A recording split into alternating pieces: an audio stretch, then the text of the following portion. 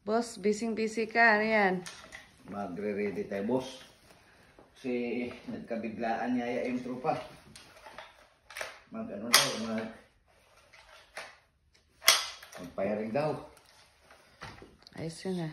So, kailangan ko ng panglock, boss. Tsaka, kasi dito, kailangan pag nag-travel ka nakalock. Yung mga wala sa permit to carry, ilalak. Yung mga isa yung susi, boss. Baka mamaya, ma. Pamayin ko yan. Ito din si Bossing. Saan Ah, ka galing, tama, Bossing? ma. Mag-firing tayo.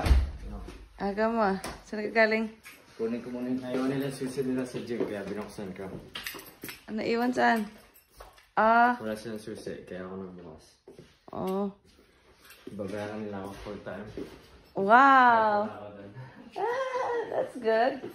Sino nagtawag sa'yo? Manager. Naiwan saan? Sa loob? Yung magbubukas sana, naiwan nila yung susi nila.